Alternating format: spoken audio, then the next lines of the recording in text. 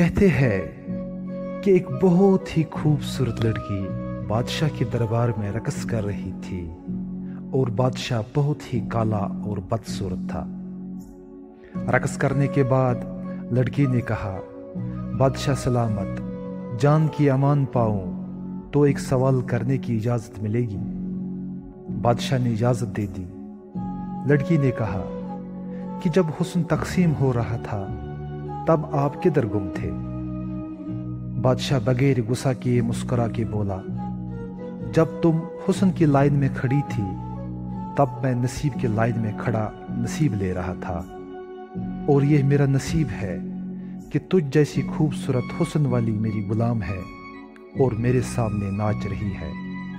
इसलिए कहने वाले ने खूब कहा, हुसन ना मांग रब से नसीब मांग। हुसन वाले अक्सर नसीब वालों के गुलाम हुआ करते हैं।